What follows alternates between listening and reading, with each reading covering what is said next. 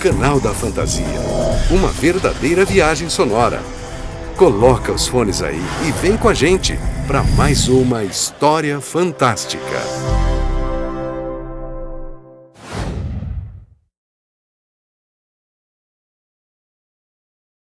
Canal Fantástico.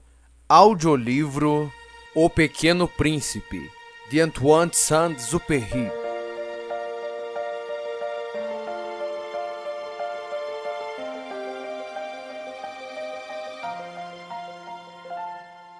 Pasta 1 Aléon Verte Peço perdão às crianças por dedicar este livro a uma pessoa grande. Tenho um bom motivo. Essa pessoa grande é o melhor amigo que possuo. Tenho um outro motivo. Essa pessoa grande é capaz de compreender todas as coisas, até mesmo os livros de criança. Tenho ainda um terceiro motivo. Essa pessoa grande mora na França e ela tem fome e frio. Ela precisa de consolo. Se todos esses motivos não bastam, eu dedico então este livro à criança que essa pessoa grande já foi. Todas as pessoas grandes foram um dia crianças, mas poucas se lembram disso. Corrijo, portanto, a dedicatória. Halel Verte, quando ele era criança. Capítulo 1 Certa vez, quando tinha seis anos, vi num livro sobre a Floresta Virgem, Histórias Vividas, uma impressionante gravura. Ela representava uma jiboia engolindo um animal. Dizia o livro: As jiboias engolem sem mastigar a presa inteira. Em seguida, não podem mover-se e dormem os seis meses da digestão. Refleti muito sobre as aventuras da selva e fiz, com lápis de cor, o meu primeiro desenho. O meu desenho número um. Mostrei minha obra-prima às pessoas grandes e perguntei se o meu desenho lhes dava medo. E responderam-me: Por que, que o chapéu daria medo? Meu desenho não representava um chapéu, representava uma jiboia digerindo um elefante. Desenhei então o interior da jiboia, a fim de que as pessoas grandes pudessem entender melhor. Elas têm sempre necessidade de explicações detalhadas. As pessoas grandes aconselharam-me a deixar de lado os desenhos de jiboias abertas ou fechadas e a dedicar-me de preferência à geografia, à história, à matemática, à gramática. Foi assim que abandonei, aos seis anos, uma promissora carreira de pintor. Fora desencorajado pelo insucesso do meu desenho número 1 um e do meu desenho número 2. As pessoas grandes não compreendem nada sozinhas e é cansativo para as crianças ficar toda hora explicando. Tive então que escolher outra profissão e aprendi a pilotar aviões. Voei por quase todas as regiões do mundo. E a geografia, é claro, me ajudou muito. Sabia distinguir, num relance, a China e o Arizona. Isso é muito útil quando se está perdido na noite. Desta forma, ao longo da vida, tive vários contatos com muita gente séria. Convivi com as pessoas grandes, via-as bem de perto. Isso não melhorou muito a minha antiga opinião. Quando encontrava uma que me parecia um pouco esclarecida, fazia experiência no meu desenho número 1, um, que sempre conservei comigo. Eu queria saber se ela era, na verdade, uma pessoa inteligente, mas a resposta era sempre a mesma. É o chapéu. Então eu não falava nem de jiboias, nem de florestas virgens, nem de estrelas. Colocava-me no seu nível. Falava de bridge, de golfe, de política, de gravatas, e a pessoa grande ficava encantada de conhecer um homem tão razoável. Capítulo 2 Vivi, portanto, só, sem alguém com quem pudesse realmente conversar, até o dia em que uma pane obrigou-me a fazer um pouso de emergência no deserto do Saara, há cerca de seis anos. Alguma coisa se quebrara no motor, e como não trazia comigo nem mecânico nem passageiros, preparei-me para executar sozinho aquele difícil conserto. Era, para mim, questão de vida ou morte. A água que eu tinha para beber só dava para oito dias. Na primeira noite, adormeci sobre a areia, a quilômetros e quilômetros de qualquer terra habitada. Estava mais isolado que um náufrago num bote perdido no meio do oceano. Imaginem qual foi a minha surpresa quando, ao amanhecer, uma vozinha estranha me acordou. Dizia: Por favor, desenha-me um carneiro. O quê? Desenha-me um carneiro. Levantei-me num salto. como se tivesse sido atingido por um raio. Esfreguei bem os olhos. Olhei ao redor e vi aquele homenzinho extraordinário que me observava seriamente. Fiz o retrato dele passado algum tempo. Meu desenho é, com certeza, muito menos sedutor que o modelo. Não tenho culpa. Fora desencorajado aos seis anos pelas pessoas grandes da minha carreira de pintor e só aprender a desenhar jiboias abertas e fechadas. Olhava para aquela aparição com olhos arregalados de espanto. Não esqueçam que eu me achava a quilômetros e quilômetros de qualquer região habitada. Ora, o meu pequeno visitante não me parecia nem perdido, nem morto de fadiga, nem morto de fome, de sede ou de medo. Não tinha absolutamente a aparência de uma criança perdida no deserto, a quilômetros e quilômetros de qualquer região habitada. Quando finalmente consegui falar, perguntei-lhe: ah, Mas o que fazes aqui? E ele repetiu então, lentamente, como se estivesse dizendo algo muito sério. Por favor, desenha-me um carneiro. Quando o mistério é impressionante demais, a gente não ousa desobedecer. Por mais absurdo que aquilo me parecesse a quilômetros e quilômetros de todos os lugares habitados e com a vida em perigo, tirei do bolso uma folha de papel e uma caneta. Mas lembrei-me, então, de que eu havia estudado principalmente geografia, história, matemática e gramática. E disse ao pequeno visitante, com um pouco de mau humor, que eu não sabia desenhar. Respondeu-me: Não tem importância. Desenha-me um carneiro. Como jamais houvesse desenhado um carneiro, refiz para ele um dos dois únicos desenhos que sabia, o da jiboia fechada. E fiquei surpreso ao ouvir o garoto replicar: Não, não, eu não quero um elefante numa jiboia. A jiboia é perigosa e o elefante toma muito espaço. Tudo é pequeno onde eu moro. Preciso é de um carneiro. Desenha-me um carneiro. Então eu desenhei. Ele olhou atentamente e disse: Não, esse já está muito doente. Desenha outro. Desenhei de novo. Meu amigo sorriu, paciente. Bem, vês que isto não é um carneiro, é um bode. Olha os chifres. Fiz mais uma vez o desenho, mas ele foi recusado como os anteriores. Este aí é muito velho. Quero um carneiro que viva muito. Então, perdendo a paciência e como tinha pressa em desmontar o motor, rabisquei o seguinte desenho e arrisquei. Essa é a caixa. O carneiro que queres está aí dentro e fiquei surpreso ao ver iluminar-se a face do meu pequeno juiz. Era assim mesmo que eu queria. Será preciso muito capim para esse carneiro? Uh, por quê? Porque é muito pequeno onde eu moro. Ah, qualquer coisa chega. Eu te dei somente um carneirinho. Inclinou a cabeça sobre o desenho. Não é tão pequeno assim. Olha, adormeceu. E foi assim que conheci, um dia, o pequeno príncipe. Capítulo 3 Levei algum tempo para entender de onde ele viera. O príncipezinho, que me fazia milhares de perguntas, parecia nunca escutar as minhas. Palavras pronunciadas ao acaso é que foram pouco a pouco revelando sua história. Assim, quando viu pela primeira vez meu avião, não vou desenhá-lo aqui, pois acho muito complicado. Perguntou-me: Que coisa é aquela? Não é uma coisa, aquilo voa. É um avião, o meu avião. E eu estava orgulhoso de lhe dizer que eu voava. Então ele perguntou, meio assustado: Como?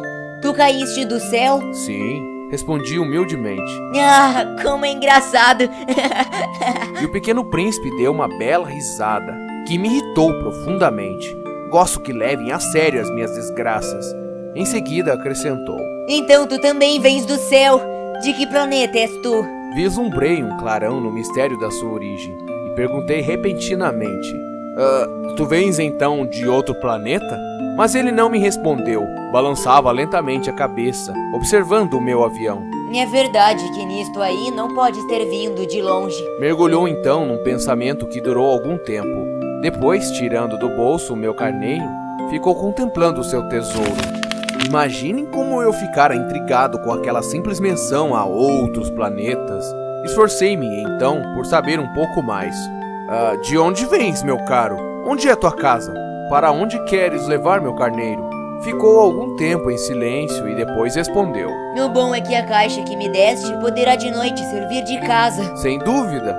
E se tu fores um bom menino, te darei também uma corda para amarrá-lo durante o dia e uma estaca para prendê-lo. A proposta pareceu chocá-lo. Amarrar? Que ideia esquisita. Mas se tu não amarrares, ele vai-se embora e se perde. E meu amigo deu uma nova risada. Mas onde queres que ele vá? Ah, não sei, por aí?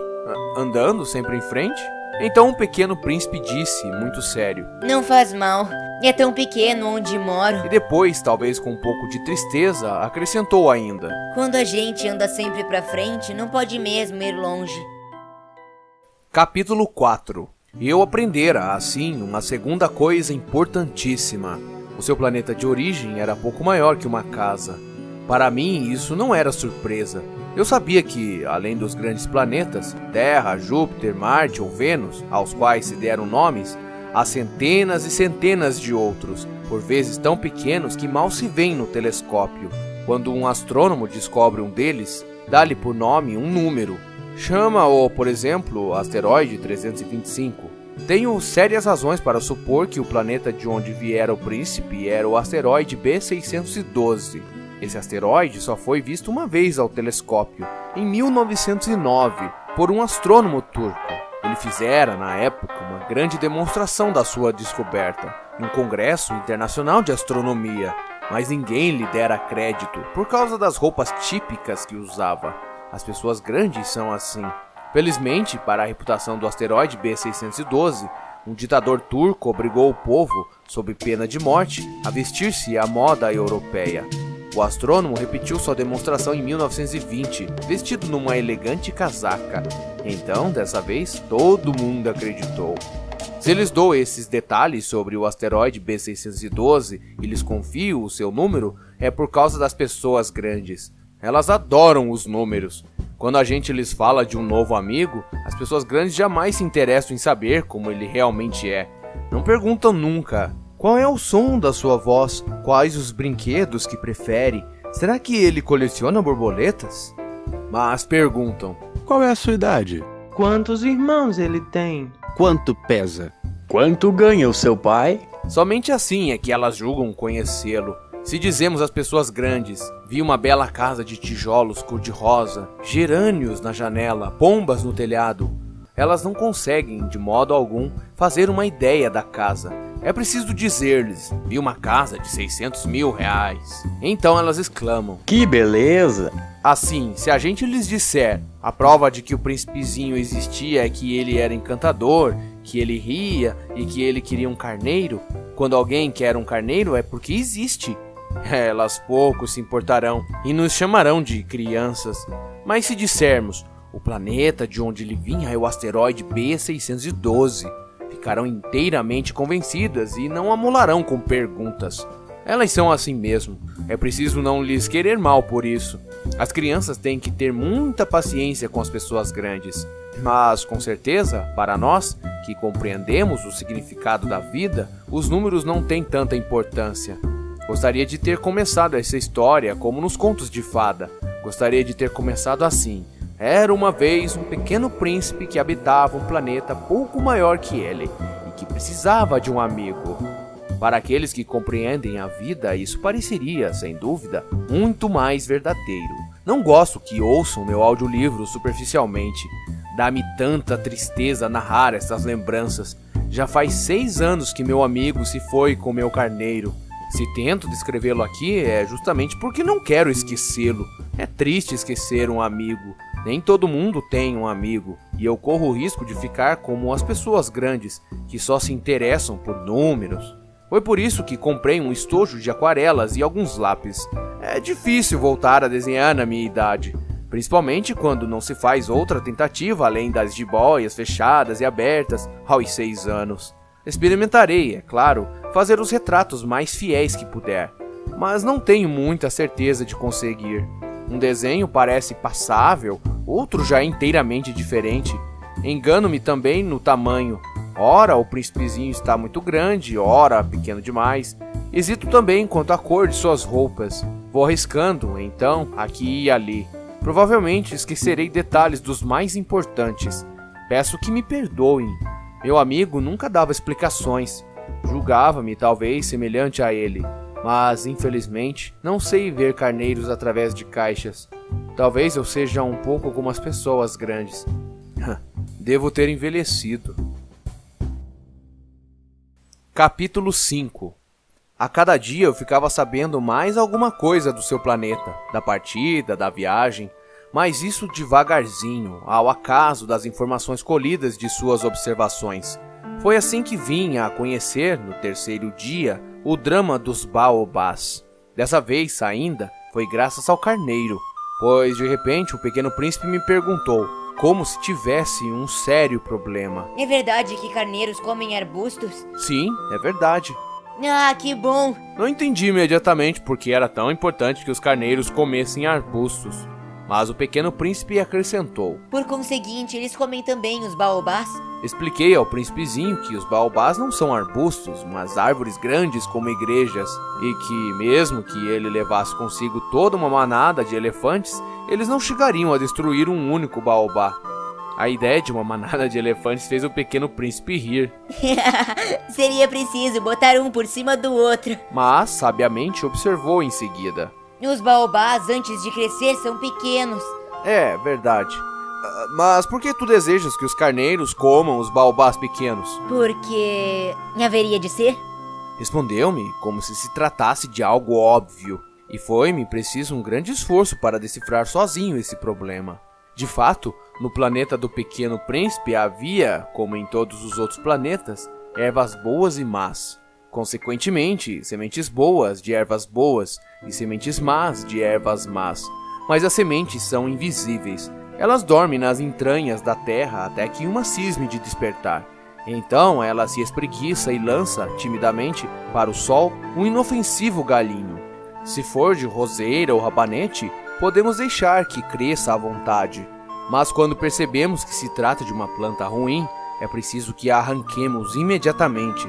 Ora, havia sementes terríveis no planeta do Pequeno Príncipe, sementes de baobá. O solo do planeta estava infestado, e quando não se descobre que aquela plantinha é um baobá, nunca mais a gente consegue se livrar dela, pois suas raízes penetram o planeta todo, atravancando-o.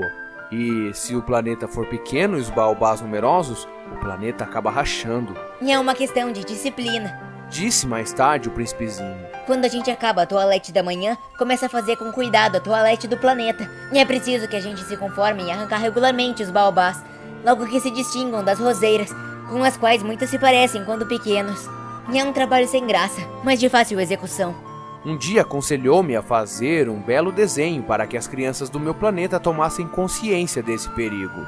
Se algum dia tiveres de viajar, Explicou-me. poderá ser útil para elas. E às vezes não há inconveniente deixar um trabalho para mais tarde. Mas quando se trata de baobá, é sempre uma catástrofe.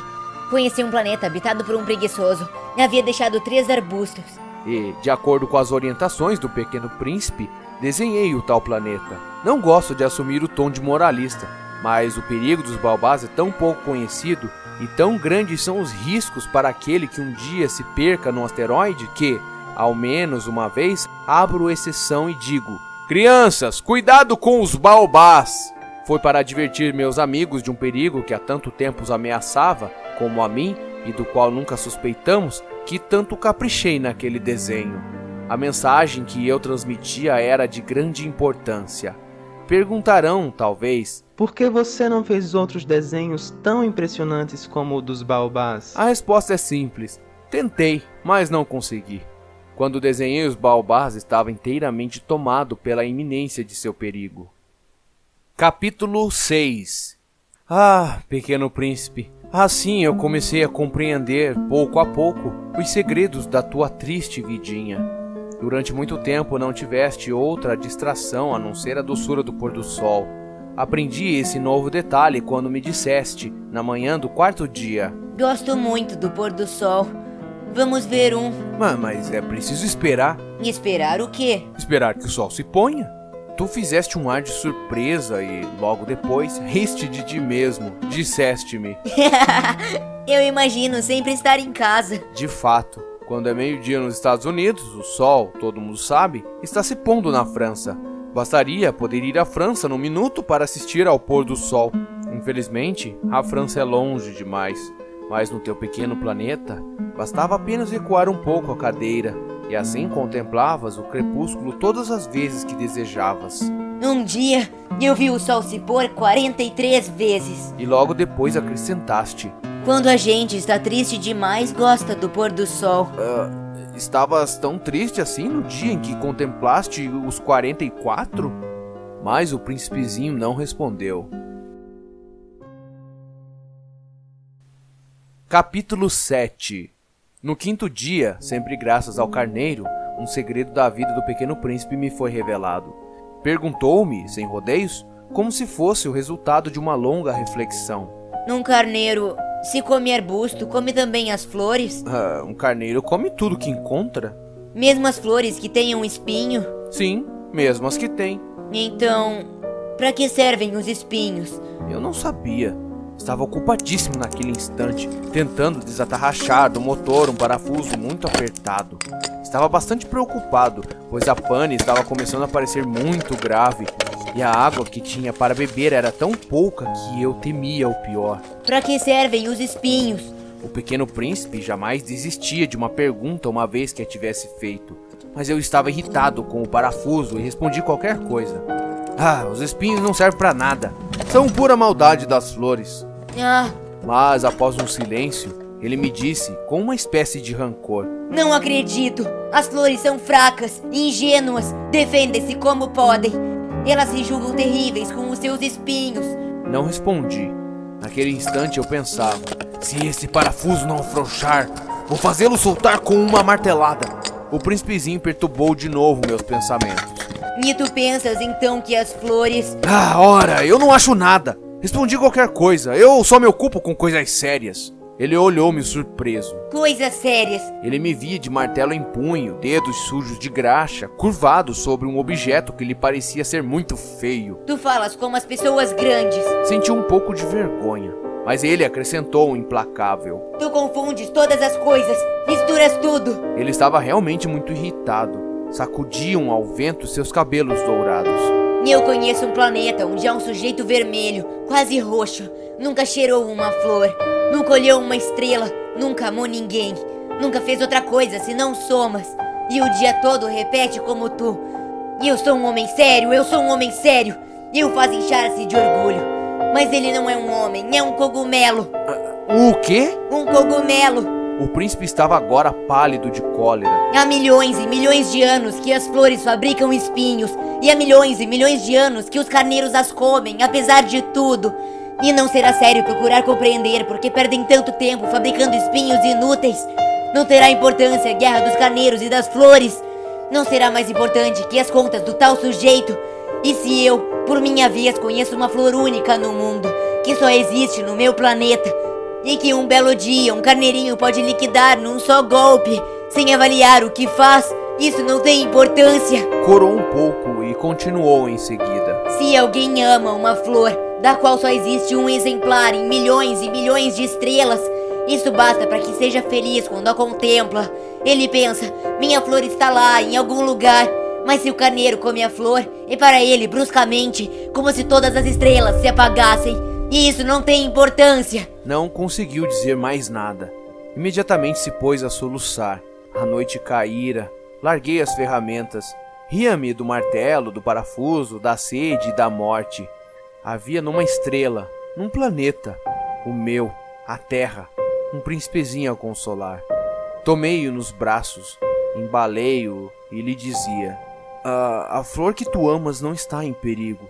Vou desenhar uma focinheira para o carneiro, uma cerca para a tua flor. Eu. Eu não sabia o que dizer. Sentia-me envergonhado. Não sabia como consolá-lo, como me aproximar dele. É tão misterioso o país das lágrimas. Capítulo 8 Logo aprendi a conhecer melhor aquela flor. Sempre houvera, no planeta do Pequeno Príncipe, flores muito simples, ornadas de uma só fileira de pétalas e que não ocupavam espaço nem incomodavam ninguém. Apareciam pela manhã na relva e à tarde já murchavam. Mas aquela brotara um dia de uma semente trazida não se sabe de onde, e o príncipezinho resolvera vigiar de perto o pequeno broto, que era tão diferente dos outros, podia ser uma nova espécie de baobá, mas o arbusto logo parou de crescer e na sua extremidade começou então a se formar uma flor. O pequeno príncipe, que assistia ao surgimento de um enorme botão, pressentiu que dali sairia uma aparição miraculosa, mas a flor parecia nunca acabar de preparar sua beleza. No seu verde aposento, escolhia as cores com cuidado, vestia-se lentamente, ajustava uma a uma suas pétalas. Não queria sair como os cravos, amarrotada. Ela queria aparecer no esplendor da sua beleza. Ah, sim, era vaidosa. Sua misteriosa toilette, portanto, durara alguns dias.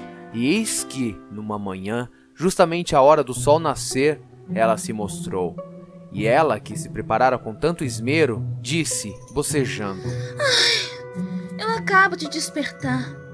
Desculpa, eu ainda tô toda despenteada. O príncipezinho, então, não pôde conter seu espanto. Como és bonita!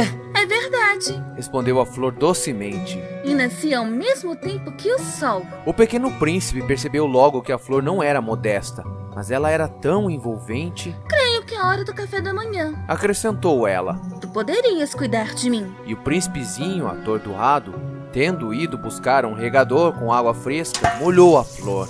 Assim, ela logo começou a atormentá-lo com sua doentia vaidade. Um dia, por exemplo, falando dos seus quatro espinhos, dissera ao pequeno príncipe: Os tigres. Eles podem aparecer com as suas garras. Não há tigres no meu planeta. Retrucara o príncipezinho. E depois, os tigres não comem erva. Não sou uma erva. Respondera a flor suavemente. Perdoa-me. Não tenho medo dos tigres, mas tenho horror das correntes de ar. Não terias por acaso um paravento? Horror das correntes de ar? Isso não é bom para uma planta. Pensara o pequeno príncipe. E é bem complicada essa flor. À noite me colocarás sobre uma redoma de vidro. Faz muito frio no teu planeta. Não é nada confortável. De onde eu venho? De repente, calou-se. Viera em forma de semente. Não pudera conhecer nada dos outros mundos. Encabulada por ter sido surpreendida em uma mentira tão tola, tossiu duas ou três vezes e, para fazê-lo sentir-se culpado, pediu. E o paravento? Ia buscá-lo, mas tu me falavas. Então ela forçou a tosse para causar-lhe remorso. Assim, o príncipezinho, apesar da sinceridade do seu amor, logo começara a duvidar dela, levar a sério palavras sem importância, e isto o fez sentir-se muito infeliz. Não a devia ter escutado. Confessou-me um dia. Não se deve nunca escutar as flores. Basta olhá-las, aspirar o perfume. A mim embalsamava o planeta, mas eu não me contentava com isso. A tal história das garras que tanto me agastara me devia ter enternecido. Confessou-me ainda. Não soube compreender coisa alguma. Devia tê-la julgado pelos atos, não pelas palavras. Ela me perfumava, me iluminava. Não devia jamais ter fugido. Devia ter-lhe adivinhado a ternura sobre os seus pobres ardis. São tão contraditórias as flores. Mas eu era jovem demais para saber amar. Capítulo 9 Creio que ele se aproveitou de uma migração de pássaros selvagens para fugir. Na manhã da viagem, pôs o planeta em ordem. Revolveu cuidadosamente seus vulcões. Ele possuía dois vulcões em atividade, e isso era muito cômodo para esquentar o café da manhã. Possuía também um vulcão extinto, mas, como ele dizia, nunca se sabe. Revolveu também o extinto. Se são bem revolvidos, os vulcões queimam lentamente, constantemente, sem erupções. As erupções vulcânicas são como fagulhas de lareira. Aqui na Terra, somos muito pequenos para revolver os vulcões. Por isso é que eles nos causam tanto dano. O pequeno príncipe arrancou também, não sem um pouco de tristeza, os últimos rebentos de Baobás. Ele pensava em nunca mais voltar, mas todos esses trabalhos rotineiros lhe pareceram, naquela manhã, extremamente agradáveis. E, quando regou pela última vez a flor e se preparava para colocá-la sob a redoma, percebeu que tinha vontade de chorar. Adeus, Disse ele à flor. Mas a flor não respondeu. adeus. Repetiu ele. A flor tossiu, mas não era por causa do resfriado. Eu fui uma tola. Disse finalmente. Peço-te perdão. Procura ser feliz. A ausência de censuras o surpreendeu. Ficou parado, completamente sem jeito, com a redoma nas mãos. Não conseguia compreender aquela delicadeza. É claro que eu te amo. Disse-lhe a flor. Foi minha culpa não perceberes isso. Mas não tem importância. Foste tão tolo quanto eu. Tenta ser feliz. Larga essa redoma. Não preciso mais dela. Mas o vento. Não estou tão resfriada assim. O ar fresco da noite me fará bem. Eu sou uma flor. Mas os bichos. É preciso que eu suporte duas ou três larvas se quiser conhecer as borboletas. Dizem que são tão belas. Do contrário, quem virá visitar-me? Tu estarás longe. Quanto aos bichos grandes, não tenho medo deles. Eu tenho as minhas garras. E ela mostrou ingenuamente seus quatro espinhos. Em seguida acrescentou: Não demores assim, que é exasperante. Tu decidiste partir, então vai. Pois ela não queria que ele a visse chorar. Era uma flor muito orgulhosa. Capítulo 10 Ele se achava na região dos asteroides 325, 326, 327, 328, 329 e 330. Começou então a visitá-los para dessa forma ter uma atividade a se instruir. O primeiro era habitado por um rei. O rei sentava-se, vestido de púrpura e arminho, num trono muito simples, embora majestoso. Oh, eis um súdito! exclamou o rei ao ver o visitante. E o príncipezinho perguntou a si mesmo: Como pode ele reconhecer-me se jamais me viu? Ele não sabia que, para os reis, o mundo é muito mais simples. Todos os homens são súditos. Aproxima-te, para que eu te veja melhor. Disse o rei, todo orgulhoso de poder ser rei para alguém. O pequeno príncipe olhou em volta para achar onde sentar-se, mas o planeta estava todo ocupado pelo magnífico manto de arminho. Ficou, então, de pé. Mas como estava cansado, bocejou. É contra a etiqueta bocejar na frente do rei. Disse o monarca. Eu o proíbo. Não posso evitá-lo. Disse o príncipezinho, sem jeito. Fiz uma longa viagem e não dormi ainda. Então, é. Disse o rei. é, Eu te ordeno que bocejes. Há anos que não vejo ninguém bocejar. Os bocejos são uma raridade para mim. Vamos, boceja. É uma ordem. Isso me intimida. Eu não posso mais. Disse o pequeno príncipe, enrubescido. Hum. Hum. Respondeu o rei. Então. é, Então eu te ordeno, ora bocejares e ora. Ele gaguejava um pouco e parecia envergonhado, porque o rei fazia questão de que sua autoridade fosse respeitada. Não tolerava a desobediência. Era um monarca absoluto. Mas, como era muito bom, dava ordens razoáveis.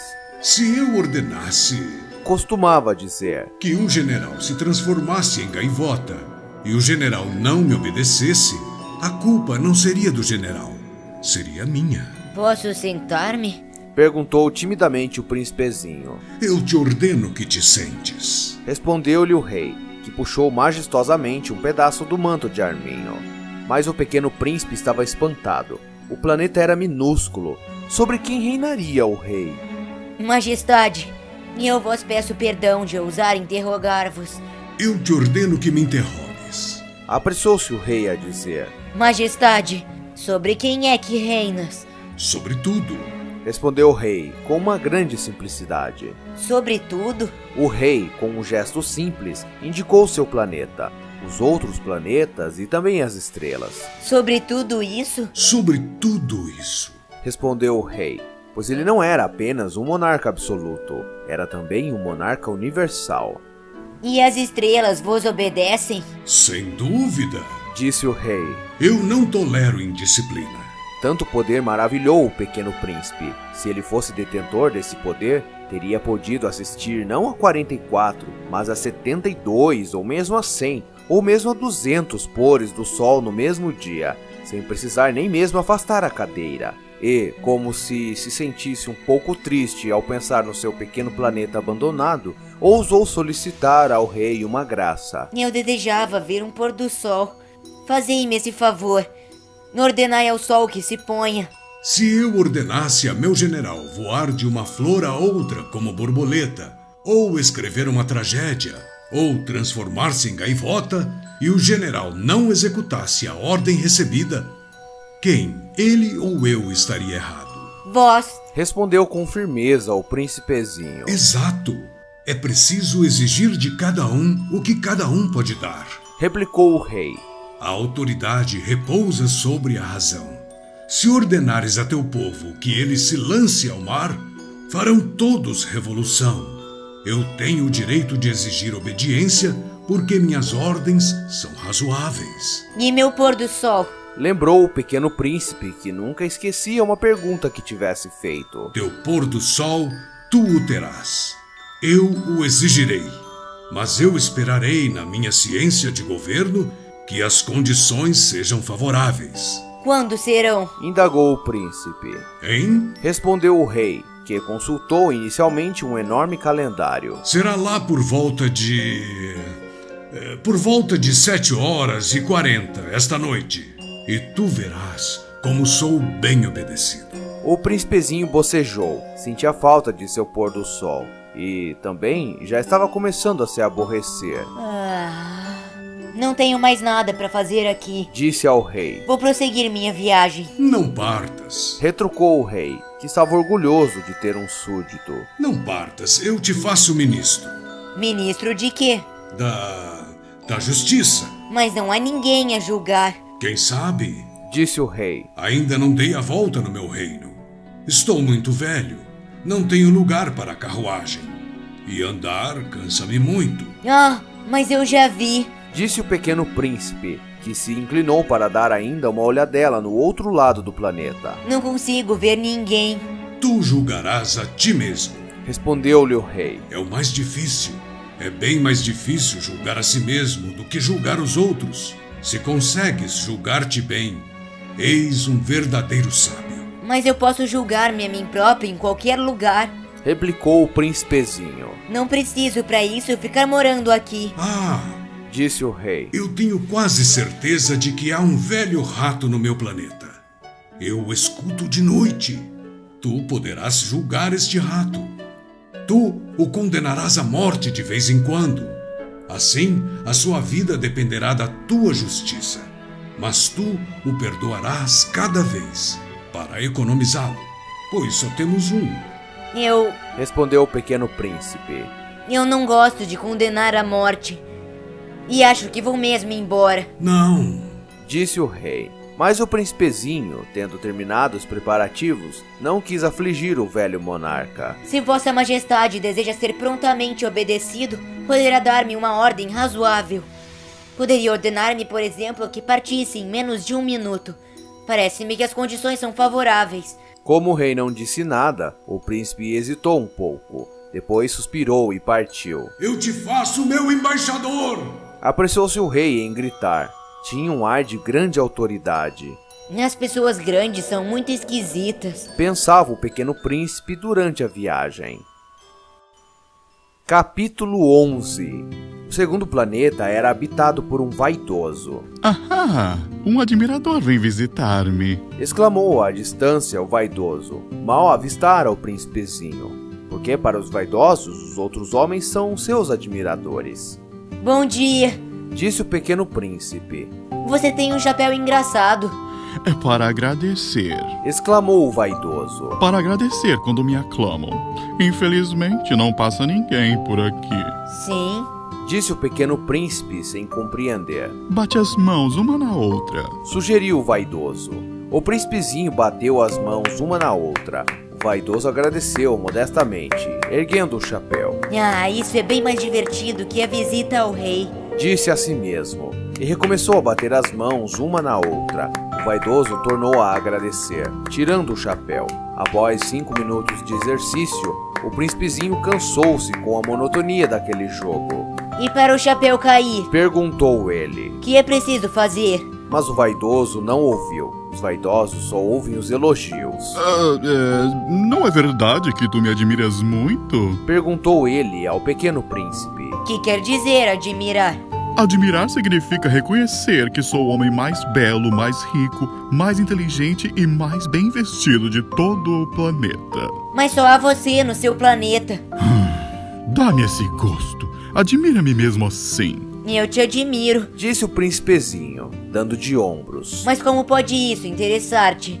E o pequeno príncipe foi-se embora. As pessoas grandes são decididamente muito bizarras. Pensou ele, continuando a viagem. Capítulo 12 O planeta seguinte era habitado por um bêbado. Essa visita foi muito curta, mas deixou o príncipezinho mergulhado numa profunda tristeza. Que fazes aí? Perguntou ele ao bêbado, que se encontrava silenciosamente acomodado diante de inúmeras garrafas vazias e diversas garrafas cheias. É, eu bebo. Respondeu o bêbado, com ar triste. Por que é que bebes? Perguntou-lhe o pequeno príncipe. Pra que eu possa esquecer. Respondeu o beberrão. Esquecer o quê? Indagou o príncipezinho, que já começava a sentir pena dele. É, esquecer que eu tenho vergonha. Confessou o bêbado, baixando a cabeça. Vergonha de quê? Perguntou o príncipe, que desejava socorrê-lo. Vergonha de beber. Concluiu o beberrão, encerrando-se definitivamente no seu silêncio. E o pequeno príncipe foi-se embora, perplexo. As pessoas grandes são decididamente muito bizarras.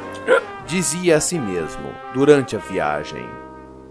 Capítulo 13 o quarto planeta era o do empresário. Estava tão ocupado que nem sequer levantou a cabeça à chegada do pequeno príncipe. Bom dia! Disse-lhe este. O seu cigarro está apagado. 13 e 2 são 5, 5 e 7, 12. 12 e 3 fazem 15. É, bom dia. 15 e 7, 22. 22 e 6, 28. É, Eu não tenho tempo para acendê-lo outra vez. 26 e 5 fazem 31. Ufa! Então são 501 milhões 622 mil 731.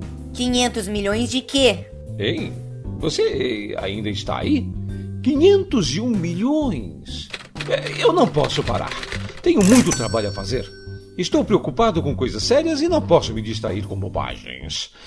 2 e 5 são 7. 500 milhões de quê? Repetiu o príncipezinho, que nunca na vida desistira de uma pergunta uma vez que a tivesse feito. O empresário levantou a cabeça. Durante os 54 anos em que eu habitei este planeta, fui perturbado apenas três vezes. A primeira vez foi 22 anos atrás, quando um besouro vertiginoso caiu de sabe-se lá onde. Ele fazia o ruído mais terrível que ressoava em todo lugar. E eu cometi quatro erros nos meus cálculos por causa disso. Na segunda vez, 11 anos atrás, eu fui perturbado por um ataque de reumatismo. Eu não faço exercícios físicos o suficiente, pois não tenho tempo para ficar vadiando.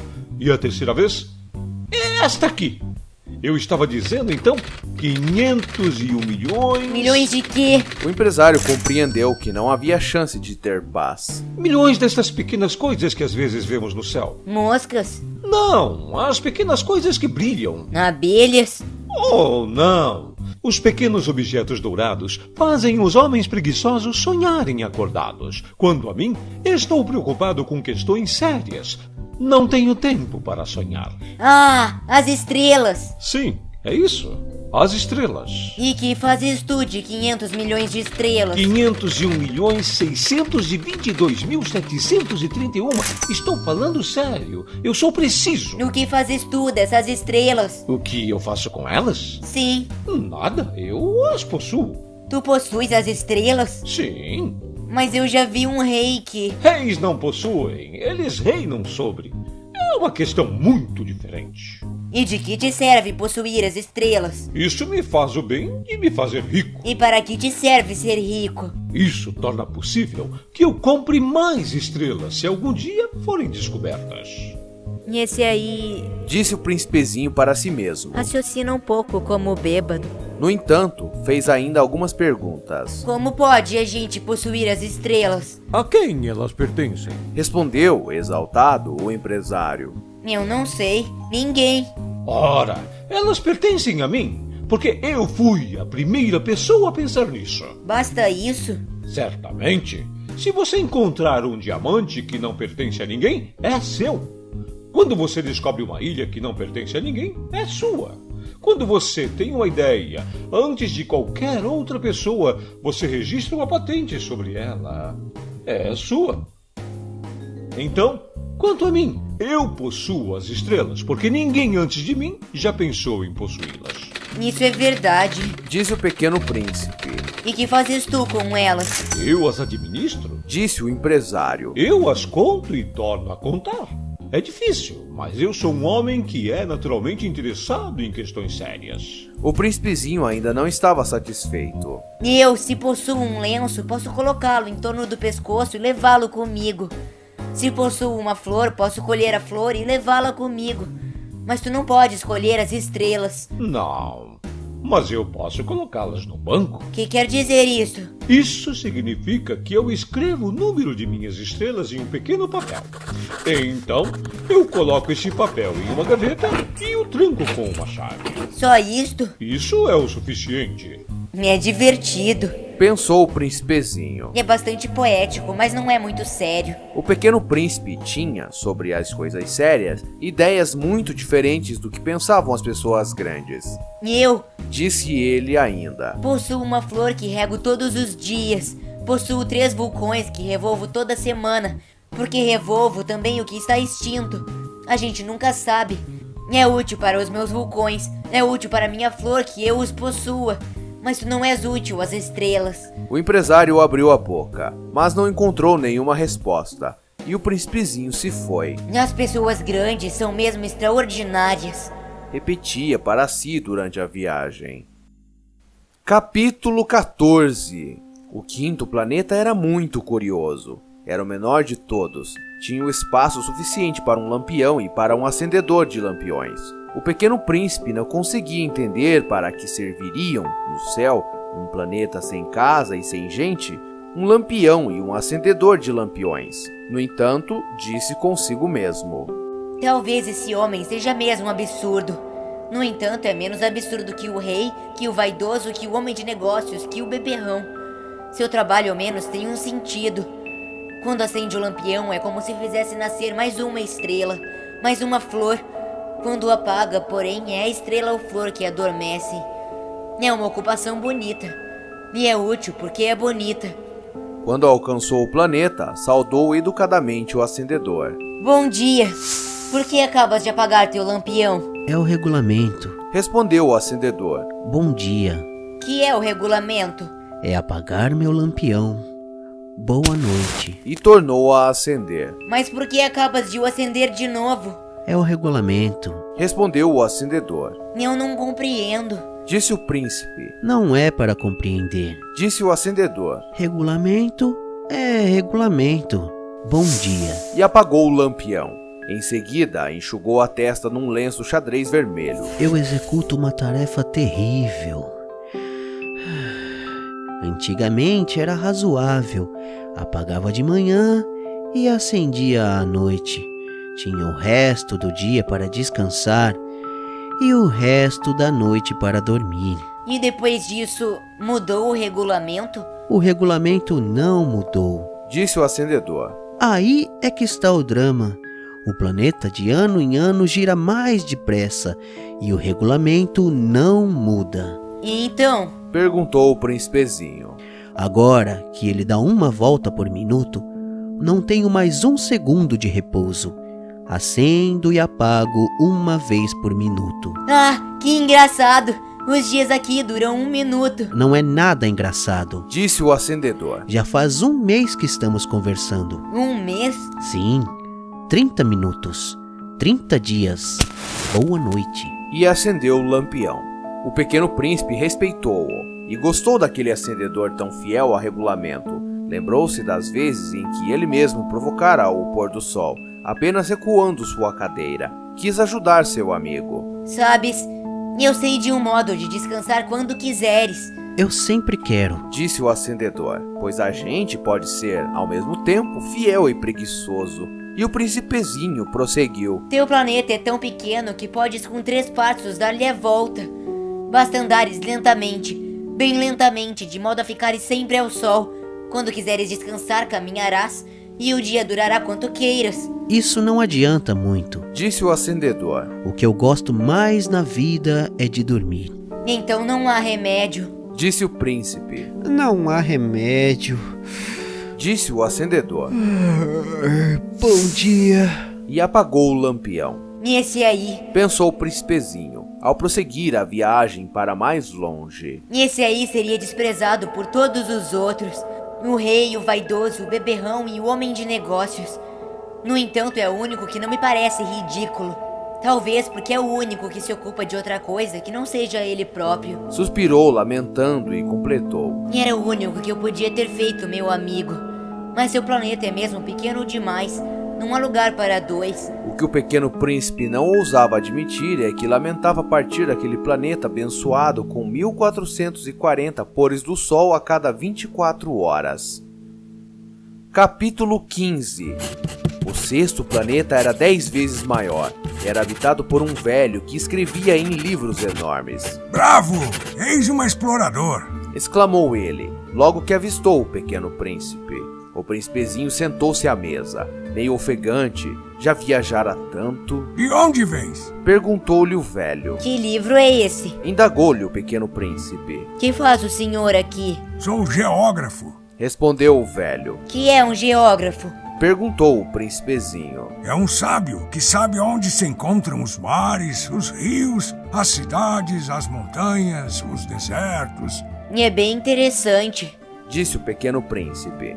Eis afinal uma verdadeira profissão. E lançou um olhar ao seu redor no planeta do geógrafo. Nunca havia visto planeta tão grandioso. No seu planeta é muito bonito. Haverá oceanos nele? Como hei de saber?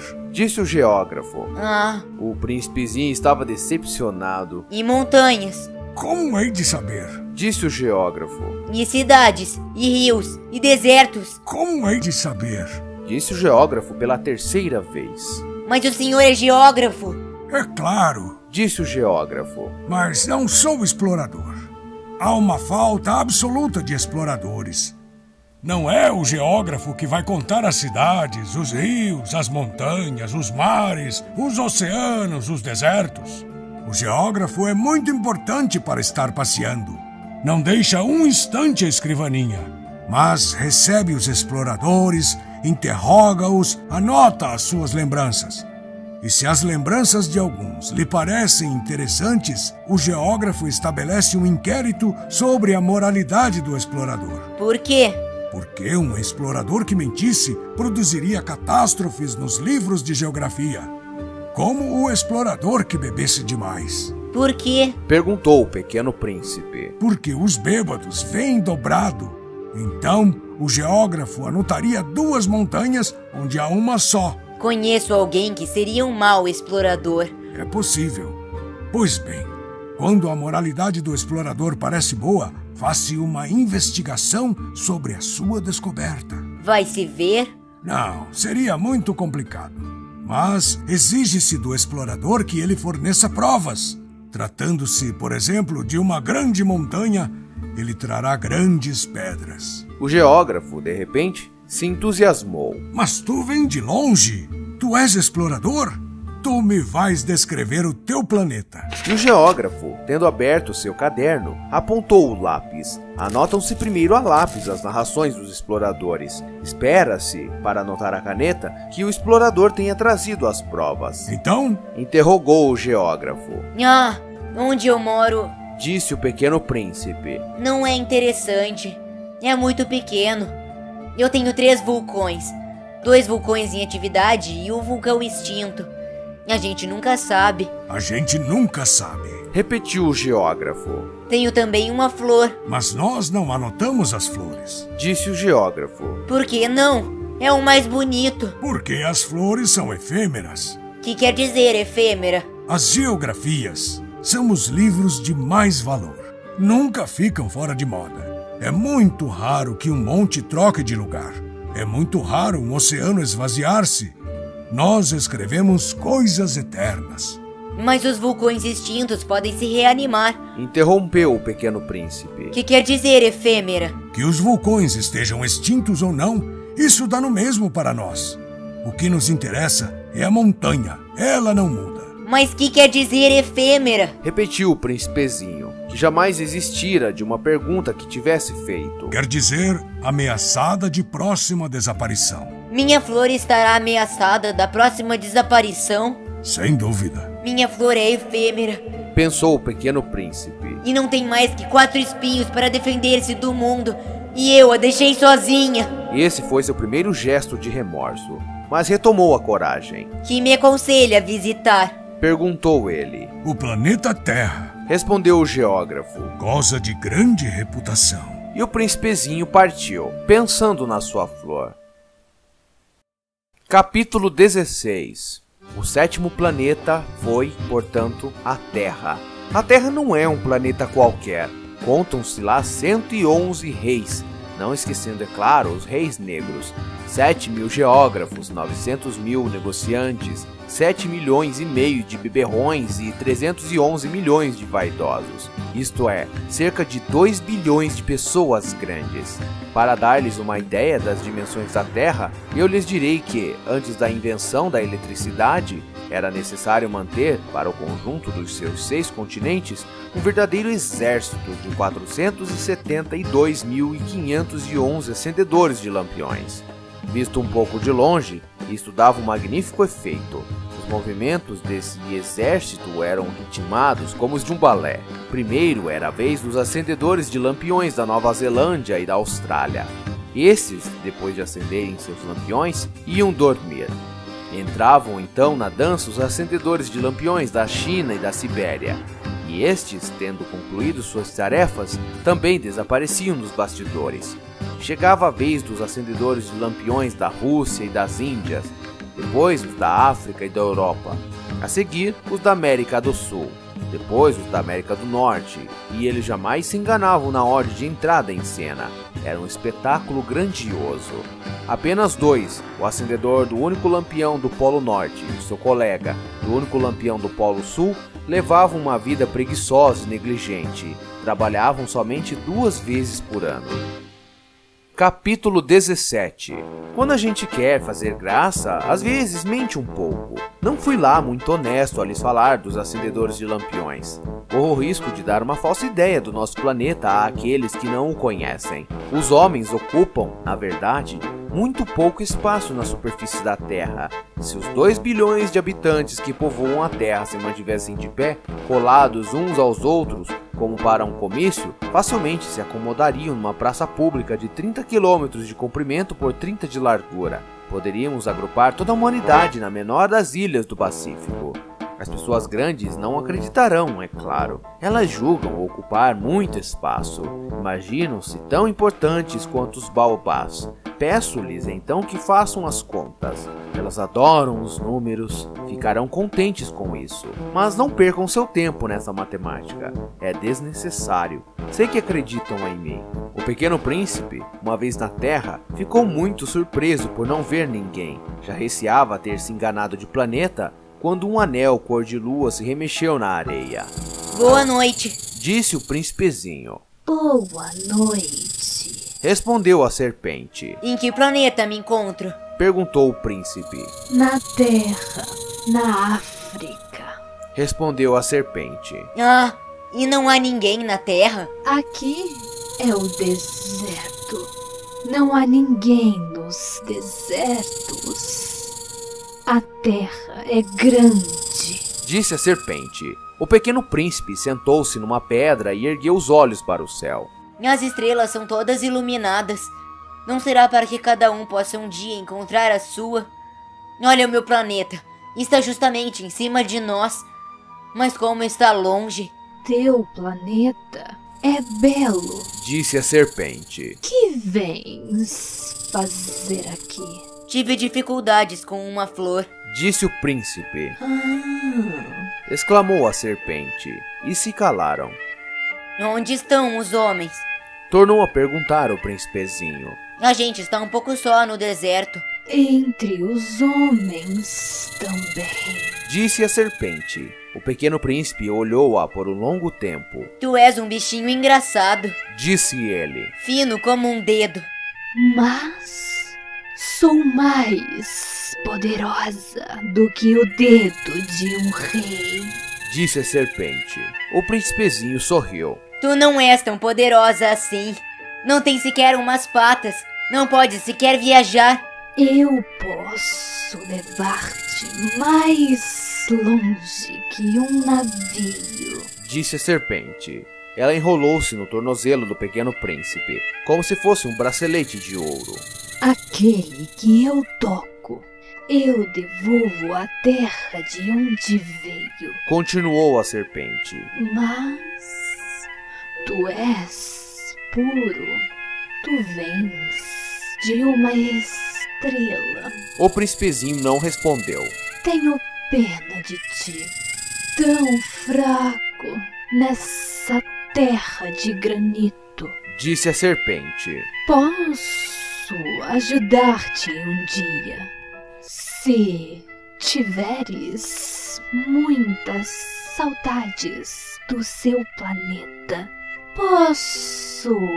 Ah, eu compreendi muito bem. Disse o pequeno príncipe. Mas por que fala sempre por enigmas? Eu os resolvo todos. Disse a serpente, e calaram-se os dois. Capítulo 18 O pequeno príncipe atravessou o deserto e encontrou apenas uma flor. Uma flor de três pétalas, uma florzinha insignificante. Bom dia! Disse o príncipe. Bom dia! Disse a flor. Onde estão os homens? Perguntou ele educadamente. A flor, um dia, vira passar uma caravana. Os homens? Eu creio que existem seis ou sete. Vi-os há muitos anos. Mas não se pode nunca saber onde se encontram. O vento os leva. Eles não têm raízes. Eles não gostam das raízes. Adeus. Disse o príncipezinho. Adeus. Disse a flor. Capítulo 19 O príncipezinho escalou uma grande montanha. As únicas montanhas que conhecera eram os três vulcões que lhe batiam no joelho. O vulcão extinto servia-lhe de tamborete. De montanha tão alta, Pensava ele, verei todo o planeta e todos os homens. Mas só viu pedras pontudas como agulhas. Bom dia! Disse ele ao Léo. Bom dia! Bom dia! Respondeu o eco. Quem és tu? Perguntou o príncipezinho. Quem és tu? Respondeu o eco. Sede, meus amigos. Eu estou só. Disse ele. Sede, meus amigos. Eu estou só. Respondeu o eco. Que planeta engraçado. Pensou então. É todo seco, pontudo e salgado. E os homens não têm imaginação. Repetem o que a gente diz. No meu planeta eu tinha uma flor. E era sempre ela que falava primeiro. Capítulo 20 Mas aconteceu que o pequeno príncipe, tendo andado muito tempo pelas areias, pelas rochas e pela neve, descobriu enfim uma estrada. E as estradas vão todas em direção aos homens. Bom dia! Disse ele. Era um jardim cheio de rosas. Bom dia! Bom dia! Bom dia! Disseram as rosas. Ele as contemplou. Eram todas iguais à sua flor. Quem sois? Perguntou ele, espantado. Somos as rosas! Responderam elas. Ah! Exclamou o príncipezinho. E ele se sentiu extremamente infeliz. Sua flor lhe havia dito que era a única de sua espécie em todo o universo. E eis que havia cinco mil iguaizinhas num só jardim. Ela veria de ficar bem vermelha se visse isso. Pensou ele. Começaria a tossir, fingiria morrer só para escapar do ridículo. E eu então teria que fingir que cuidava dela, porque senão, só para me humilhar, ela era bem capaz de morrer de verdade. Depois refletiu ainda. Eu me julgava rico de uma flor sem igual, e é apenas uma rosa comum que eu possuo. Uma rosa e três vulcões que me dão pelo joelho, um dos quais extinto para sempre. Isso não faz de mim um príncipe muito grande. E, deitado na relva, ele chorou. Capítulo 21 E foi então que apareceu a raposa. Bom dia! Disse a raposa. Bom dia! Respondeu educadamente o pequeno príncipe que, olhando à sua volta, nada viu. Eu estou aqui! Disse a voz. Debaixo da macieira. Quem és tu? Perguntou o príncipezinho. Tu és bem bonita. Sou uma raposa. Disse a raposa. Vem brincar comigo. Propôs ele. Estou tão triste. Eu não posso brincar contigo. Disse a raposa. Não me cativaram ainda. Ah, desculpa. Disse o príncipezinho. Mas após refletir, acrescentou. Que quer dizer cativar? Tu não és daqui. Disse a raposa. O que procuras? Procuro os homens. Disse o pequeno príncipe. Que quer dizer cativar? Os homens. Disse a raposa. Tem fuzis e caçam. É bem incômodo. Criam galinhas também. É a única coisa interessante que fazem. Tu procuras galinhas? Não, Disse o príncipe. eu procuro amigos. Que quer dizer cativar? É uma coisa muito esquecida. Significa criar laços. Criar laços? Exatamente. Disse a raposa. Tu não és pra mim senão um garoto inteiramente igual a 100 mil outros garotos. E eu não tenho necessidade de ti. E tu não tens também necessidade de mim. Não passo a teus olhos de uma raposa igual a 100 mil outras raposas. Mas, se tu me cativas, nós teremos necessidade um do outro. Serás para mim único no mundo. E eu serei para ti única no mundo. Começo a compreender. Disse o pequeno príncipe. E existe uma flor. E eu creio que ela me cativou. É possível. Disse a raposa. Vê-se tanta coisa na terra. Oh, não foi na terra. Disse o príncipezinho. A raposa pareceu intrigada. Num outro planeta? Sim. Há caçadores nesse planeta? Não. Que bom! E galinhas? Também não. Ah, nada é perfeito. Suspirou a raposa. Mas a raposa retomou seu raciocínio. Minha vida é monótona. Eu caço as galinhas e os homens me caçam. Todas as galinhas se parecem e todos os homens se parecem também. E por isso eu me aborreço um pouco. Mas se tu me cativas, minha vida será como que cheia de sol. Conhecerei um barulho de passos que será diferente dos outros, e outros passos me fazem entrar debaixo da terra. O teu me chamará para fora da toca, como se fosse música. E depois, olha, vês lá longe os campos de trigo? Eu não como pão. O trigo para mim é inútil. Os campos de trigo não me lembram coisa alguma. E isso é triste. Mas tu tens cabelos dourados, então será maravilhoso quando me tiveres cativado. O trigo, que é dourado, fará lembrar-me de ti, e eu amarei o barulho do vento no trigo. A raposa calou-se e observou por muito tempo o príncipe. Por favor, cativa-me! Disse ela. Bem quisera. Disse o príncipezinho. Mas eu não tenho muito tempo. Tenho amigos a descobrir e muitas coisas a conhecer. A gente só conhece bem as coisas que cativou. Disse a raposa. Os homens não têm mais tempo de conhecer coisa alguma. Compram tudo prontinho nas lojas. Mas como não existem lojas de amigos, os homens não têm mais amigos. Se tu queres um amigo, cativa-me! Que é preciso fazer? Perguntou o pequeno príncipe. É preciso ser paciente. Respondeu a raposa. Tu te sentarás primeiro um pouco longe de mim. Assim, na relva. Eu te olharei com um canto do olho e tu não dirás nada. A linguagem é uma fonte de mal entendidos. Mas, cada dia, te sentarás mais perto. No dia seguinte, o príncipezinho voltou. Teria sido melhor voltares à mesma hora. Disse a raposa. Se tu vens, por exemplo, às quatro da tarde, desde as três eu começarei a ser feliz. Quanto mais a hora for chegando, mais eu me sentirei feliz. Às quatro horas, então, estarei inquieta e agitada. Descobrirei o preço da felicidade. Mas se tu vens a qualquer momento, nunca saberei a hora de me preparar o coração. É preciso ritos. Que é um rito? Perguntou o príncipezinho. É uma coisa muito esquecida também. Disse a raposa. É o que faz com que um dia seja diferente dos outros dias. Uma hora das outras horas. Os meus caçadores, por exemplo, possuem um rito. Dançam na quinta-feira com as moças da aldeia. A quinta-feira, então, é o dia maravilhoso. Vou passear até a vinha. Se os caçadores dançassem qualquer dia, os dias seriam todos iguais. E eu não teria férias. Assim, o pequeno príncipe cativou a raposa.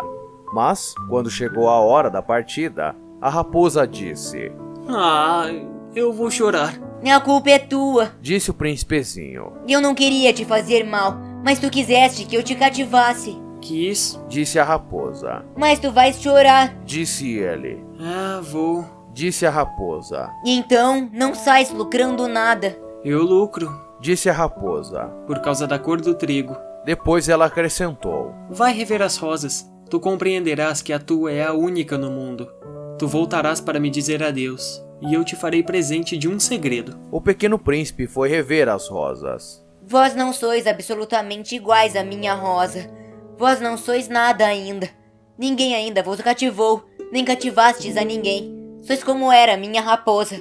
E era uma raposa igual a cem mil outras, mas eu fiz dela um amigo. Agora é única no mundo. E as rosas ficaram desapontadas. Sois belas, mas vazias. Continuou ele. Não se pode morrer por vós.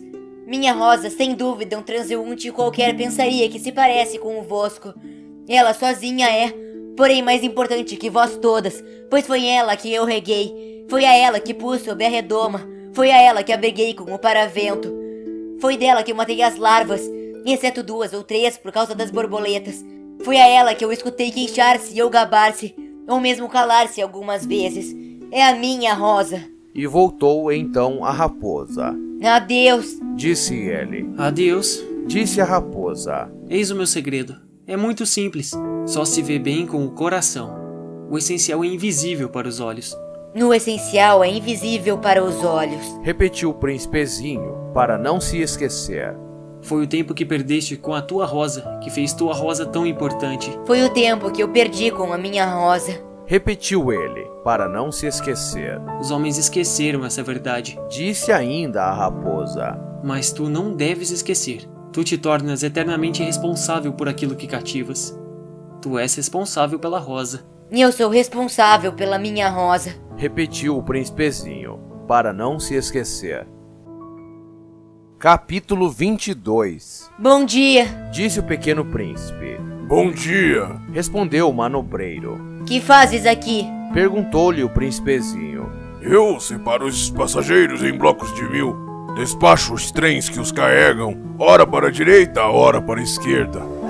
E um trem iluminado, roncando como um trovão, fez tremer a cabine do manobreiro. Eles estão com muita pressa. O que é que estão procurando? Nenhum homem da locomotiva sabe. E apitou, vindo em sentido inverso, um outro trem iluminado. Já estão de volta? Perguntou o príncipe. Não são os mesmos. É uma troca. Não estavam contentes onde estavam? Nunca estamos contentes onde estamos. E o apito de um terceiro trem iluminado soou. Estão perseguindo os primeiros viajantes? Não correm atrás de nada. E estão dormindo lá dentro ou bocejando.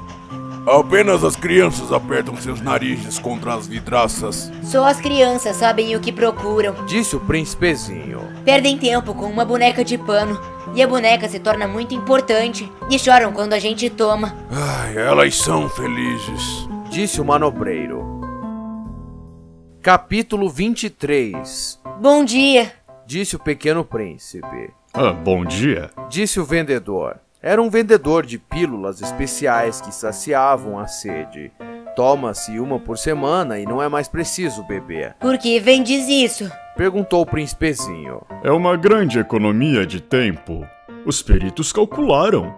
A gente ganha 53 minutos por semana. E o que se faz então com os 53 minutos? O que a gente quiser. Eu, Pensou o pequeno príncipe. se tivesse 53 minutos para gastar, iria caminhando passo a passo, mãos no bolso na direção de uma fonte. Capítulo 24 Estávamos no oitavo dia de minha pane no deserto. Justamente quando bebia a última gota da minha reserva de água foi que ouvi a história do vendedor. Ah, disse eu ao pequeno príncipe. São bem bonitas as suas lembranças, mas eu não consertei ainda meu avião. Não tenho mais nada para beber e eu também seria feliz se pudesse ir caminhando em direção a uma fonte. Minha amiga raposa me disse: Ah, meu caro, não se trata mais da raposa. Por quê? Porque vamos morrer de sede. Ele não compreendeu o meu raciocínio e respondeu: é bom ter tido um amigo, mesmo se a gente vai morrer. Eu estou muito contente de ter tido a raposa como amiga. E ele não pode avaliar o perigo. Pensei, não tem nunca fome ou sede. Um raio de sol lhe basta. Mas ele me olhou e respondeu ao meu pensamento. Tenho sede também. Procuremos um poço. Eu fiz um gesto de desânimo. É absurdo procurar um poço ao acaso, na imensidão do deserto. No entanto, pusemo-nos a caminho. Já tínhamos andado horas em silêncio quando a noite caiu e as estrelas começaram a brilhar. Eu as apreciava como num sonho, porque a sede me tornara febril. As palavras do pequeno príncipe ressoavam na minha memória. Ah, tu tens sede também? Perguntei-lhe, mas ele não respondeu à minha pergunta. Disse apenas: A água pode ser boa para o coração. Não entendi sua resposta e me calei. Eu bem sabia que não adiantava interrogá-lo. Ele estava cansado. Sentou-se. Sentei-me junto dele E, após uma pausa, ele disse ainda: As estrelas são belas por causa de uma flor que não se vê. Eu respondi: É verdade. E, mantendo-me em silêncio, fixei os olhos nas ondulações da areia iluminada pela lua. No deserto é belo, acrescentou. E era verdade. Eu sempre amei o deserto. A gente se senta numa duna de areia, não vê nada, não escuta nada. De repente, alguma coisa irradia no silêncio. O que torna belo o deserto? Disse o príncipezinho. É que ele esconde um poço em algum lugar. Fiquei surpreso por compreender de repente essa misteriosa irradiação da areia. Quando eu era pequeno, morava numa casa antiga e diziam as lendas que ali fora enterrado um tesouro. Ninguém jamais conseguiu descobri-lo, nem talvez o tenha procurado. Mas isto encantava a todos. Minha casa escondia um tesouro no fundo do seu coração. Sim, respondi-lhe. Quer seja a casa, as estrelas ou o deserto, o que os torna belos é invisível. Estou contente, disse ele, que estejas de acordo com a raposa. Como o príncipezinho adormecesse, tomei-o nos braços e prossegui a caminhada. E tinha a impressão de carregar um frágil tesouro. Parecia-me mesmo não haver na terra nada mais frágil. Observava, à luz da lua, aquele rosto pálido, seus olhos fechados, suas mechas de cabelo que se agitavam com o vento. E pensava: o que eu vejo não passa de uma casca. O mais importante é invisível. Como seus lábios entreabertos esboçavam um sorriso, pensei ainda: o que tanto me comove nesse príncipe adormecido é sua fidelidade a uma flor.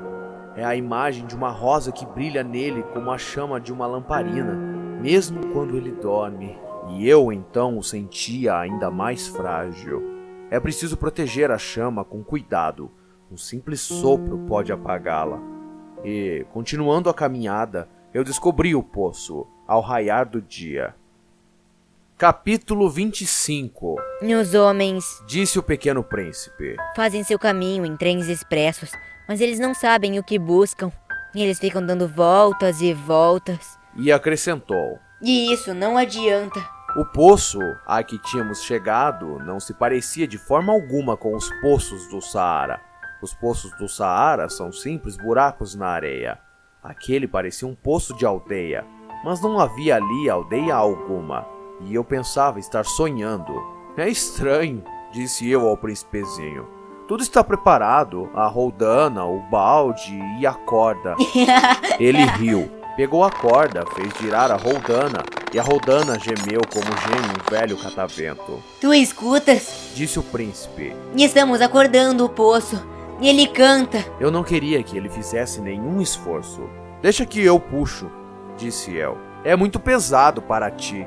Lentamente essei o balde e, com cuidado, o coloquei na borda do poço.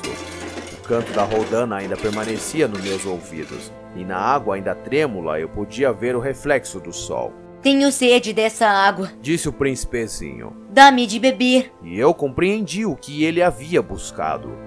Levantei o balde até sua boca. Ele bebeu, de olhos fechados. Era doce como uma festa. Aquela água era muito mais que um alimento. Nascera da caminhada sob as estrelas, do canto da roldana, do esforço do meu braço. Era boa para o coração como um presente. Quando eu era pequeno, as luzes da árvore de Natal, a música da missa de meia-noite e a doçura do sorriso se refletiam nos presentes que ganhava. Nos homens do teu planeta cultivam cinco mil rosas no mesmo jardim e não encontram o que procuram. É verdade, respondi. E no entanto, o que eles buscam poderia ser achado numa só rosa ou num pouquinho d'água. É verdade. E o príncipezinho acrescentou: Mas os olhos são cegos. E é preciso buscar com o coração. Eu tinha bebido, respirava normalmente. Ao amanhecer, a areia era cor de mel.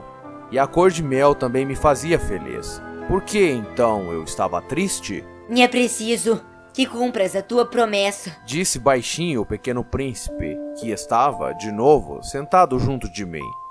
Uh, uh, que promessa? Tu sabes, a mordaça do meu carneiro. E eu sou responsável pela flor. Tirei do bolso os meus esboços de desenho. O príncipezinho os viu e disse rindo: Teus baobás parecem um pouco repolhos. E eu caprichara tanto nos meus baobás. Tua raposa, nas orelhas dela, parecem chifres, são compridas demais. Ele riu outra vez. tu és injusto, meu caro. Eu só sabia desenhar jiboias abertas e fechadas. Não faz mal, Disse ele. as crianças entendem. Rabisquei então uma pequena focinheira, mas ao entregá-la, senti um aperto no coração. "Ah, tu tens planos que eu desconheço. Ele não me respondeu, mas disse. Lembras-te da minha queda na terra? Amanhã será o aniversário. Depois, após um silêncio, acrescentou Caí pertinho daqui. e enrubesceu. E de novo, sem compreender por quê, eu senti uma estranha tristeza. Entretanto, ocorreu-me perguntar: "Ah, então não foi por acaso que vagavas sozinho quando te encontrei há oito dias, a quilômetros e quilômetros de qualquer região habitada? Ah, Estavas retornando ao local onde chegaste? Ele enrubesceu novamente. E eu acrescentei, hesitando: "Ah, talvez por causa do aniversário? O príncipezinho ficou mais vermelho. Não respondia nunca às perguntas. Mas quando a gente enrubesce, é o mesmo que dizer sim, não é verdade? Eu tenho medo. Mas ele me respondeu. Tu deves agora trabalhar, ir em busca do teu aparelho. Espero-te aqui. Volta amanhã de tarde. Mas eu não estava seguro. Lembrava-me da raposa. A gente corre o risco de chorar um pouco quando se deixou cativar. Capítulo 26 Havia, ao lado do poço, a ruína de um velho muro de pedra. Quando voltei do trabalho, no dia seguinte, vi, de longe, o meu pequeno príncipe sentado no alto, com as pernas balançando, e o escutei dizer: Tu não te lembras então? Não foi bem aqui o lugar. Uma outra voz lhe respondeu, porque ele replicou em seguida. Não, não estou enganado. O dia é este, mas não o lugar. Prossegui em direção ao muro. Não enxergava nem ouvia ninguém a não ser ele. No entanto, o príncipezinho replicou novamente. Está bem, tu verás onde começa na areia o sinal dos meus passos. Basta esperar-me, estarei ali esta noite. Estava a 20 metros do muro e continuava a não ver nada. O pequeno príncipe disse ainda, após um silêncio: No teu veneno é do bom? E está certa de que não vou sofrer muito tempo? Parei, o coração apertado, ainda sem compreender nada. Agora vai-te embora. Disse ele. Eu quero descer. Então baixei os olhos para o pé do muro e dei um salto. Lá estava, erguida para o príncipezinho, uma dessas serpentes amarelas que nos liquidam em 30 segundos. Rapidamente procurei o revólver no bolso, mas, percebendo o barulho, a serpente deslizou pela areia, como um esguicho de água que de repente seca, e vagarosamente se enfiou entre as pedras com um leve tinir metálico. Cheguei ao muro a tempo de segurar nos braços o meu caro príncipe, pálido como a neve. Que história é essa? Tu conversas agora com as serpentes? Afrouxei o nó do lenço dourado que ele sempre usava no pescoço. Molhei sua testa. Dei-lhe de beber. E agora não ousava perguntar-lhe mais nada. Olhou-me seriamente e abraçou meu pescoço. Sentia o seu coração bater de encontro ao meu, como de um pássaro morrendo, atingido por um tiro. Ele me disse: Estou contente de teres descoberto o defeito do maquinismo. Vais poder voltar para casa. Como soubeste? Eu vinha justamente avisar-lhe que, contra toda a expectativa, havia conseguido realizar o concerto. Ele não respondeu à minha pergunta, mas acrescentou. Eu também volto hoje para casa. Depois Tristonho disse: É bem mais longe, bem mais difícil. Eu percebia claramente que algo de extraordinário se passava. Apertava-o nos braços como se fosse uma criancinha, mas tinha a impressão de que ele ia deslizando num abismo, sem que eu nada pudesse fazer para detê-lo. Seu olhar estava sério, vagando no além. Tenho teu carneiro, e a caixa pro carneiro, e a mordaça. E ele sorriu com tristeza. Esperei muito tempo, sentia que seu corpo aos poucos se reaquecia. "Ah, meu caro, tu tiveste medo. É claro que tivera, mas ele sorriu docemente. Terei mais medo ainda esta noite. O sentimento do irremediável me fez gelar de novo. E eu compreendi que não poderia suportar a ideia de nunca mais escutar aquele riso, que era para mim como uma fonte no deserto. Ah, meu caro, eu quero ainda escutar o teu riso. Mas ele me disse: Faz um ano esta noite. Minha estrela se achará justamente em cima do lugar onde eu caía no passado. Meu caro, essa história de serpente, de encontro marcado, de estrela, não passa de um pesadelo, não é mesmo? Mas ele não respondeu à minha pergunta e disse: No que é importante, a gente não vê. Sim, eu sei. Será como uma flor. Se tu amas uma flor que se acha numa estrela, é doce de noite olhar o céu. Todas as estrelas estão floridas. É verdade. Será como a água. Aquela que me deste parecia música, por causa da rodana e da corda. Lembras-te como era boa? Sim, lembro-me. Tu olharás de noite, as estrelas. Onde eu moro é muito pequeno, para que eu possa te mostrar onde se encontra a minha. É melhor assim. Minha estrela será então qualquer das estrelas. Gostarás de olhar todas elas. Serão todas tuas amigas. E depois eu vou fazer-te um presente. Ele riu outra vez. meu caro, meu querido amigo, como eu gosto de ouvir esse riso. Pois é ele o meu presente. Será como a água. Que queres dizer? As pessoas têm estrelas que não são as mesmas. Para uns que viajam, as estrelas são guias. Para outros, elas não passam de pequenas luzes. Para outros, os sábios são problemas. Para o meu negociante, era um ouro. Mas todas essas estrelas se calam. Tu, porém, terás estrelas como ninguém. Que queres dizer? Quando olhares o céu de noite, porque habitarei uma delas, porque numa delas estarei rindo. Então será como se todas as estrelas te rissem. E tu terás estrelas que sabem rir. e ele riu mais uma vez. E quando te houveres consolado, tu te sentirás contentes por me teres conhecido. Tu serás sempre meu amigo. Terás vontade de rir comigo e abrirás às vezes a janela à toa, por gosto. E teus amigos ficarão espantados de ouvir-te rir olhando o céu. Tu explicarás então. Sim, as estrelas sempre me fazem rir, e eles te julgarão maluco. Será uma peça que te prego. e riu de novo. Será como se eu te houvesse dado, em vez de estrelas, montões de guizos que riem. e riu de novo. Depois ficou sério. Esta noite, tu sabes, não venhas. Ah, eu não te deixarei. Eu parecerei sofrer. E eu parecerei morrer. É assim. Não venhas ver. Não vale a pena. Ah, eu não te abandonarei. Mas ele estava preocupado. Eu digo isto também por causa da serpente. É preciso que não te morda. As serpentes são más. Podem morder por gosto. Eu não te abandonarei. Mas uma coisa o tranquilizou. Elas não têm veneno, é verdade. Para uma segunda mordida. Naquela noite, não o vi partir. Saiu sem fazer barulho. Quando consegui alcançá-lo, ele caminhava decidido, num passo rápido. Disse-me apenas: Ah, estás aqui. E segurou minha mão, mas preocupou-se de novo. Fizeste mal, tu sofrerás. Eu parecerei morto e não será verdade. Eu me calara. Tu compreendes. É longe demais. Eu não posso carregar este corpo. É muito pesado. Eu continuava calado. Mas será como uma velha casca abandonada. Uma casca de árvore não é triste.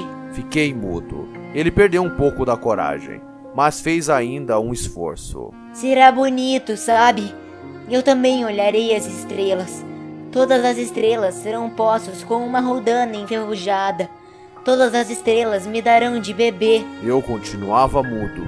Será tão divertido. Tu terás 500 milhões de guizos e eu terei 500 milhões de fontes. E ele também se calou, porque estava chorando. É aqui. Deixe-me dar um passo sozinho. E sentou-se, porque tinha medo. Disse ainda: Tu sabes, minha flor, eu sou responsável por ela. Ela é tão frágil, tão ingênua. Tem quatro espinhos de nada para defendê-la do mundo. Eu me sentei também, pois não conseguia mais ficar de pé. Ele disse: Pronto.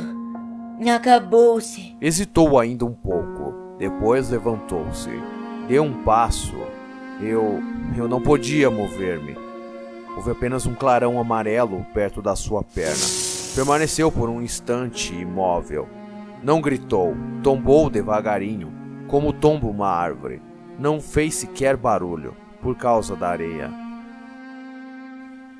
Capítulo 27 E agora já se passaram seis anos. Jamais contar esta história. Os companheiros que me encontraram quando voltei ficaram contentes de me ver são e salvo.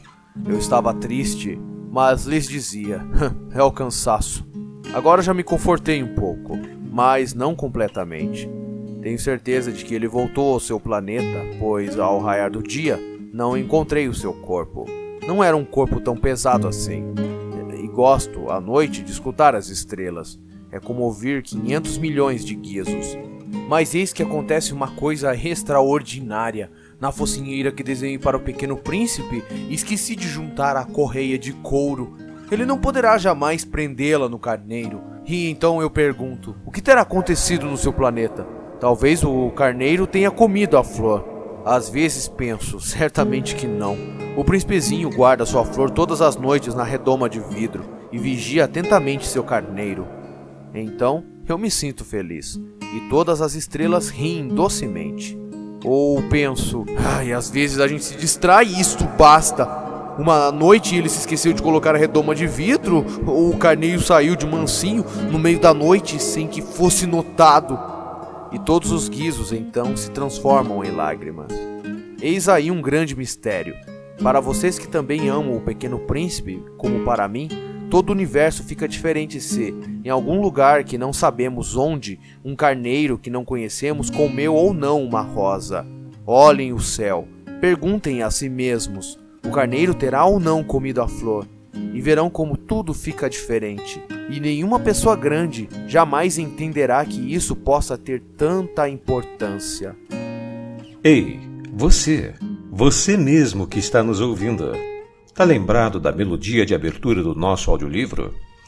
Então, nós do Canal Fantástico adaptamos a última reflexão do autor sobre uma paisagem desenhada no fim do livro para a sua versão em áudio. Esta é, para mim, a mais bela e a mais triste melodia do mundo.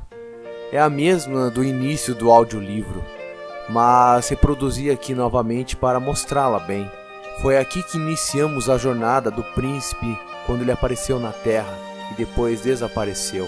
Ouçam atentamente esta melodia para que, caso um dia viajem para a África, quem sabe, através do deserto, e se passarem por ali, eu lhes peço que não tenham pressa e esperem um pouco bem debaixo da estrela. Se de repente um menino vem ao encontro de vocês, se ele ri, se tem cabelos dourados, se não responde quando é perguntado, adivinharão quem ele é. Façam-me então um favor, não me deixem tão tristes, escrevam-me depressa dizendo que ele voltou. Fim do capítulo. Fim de O Pequeno Príncipe.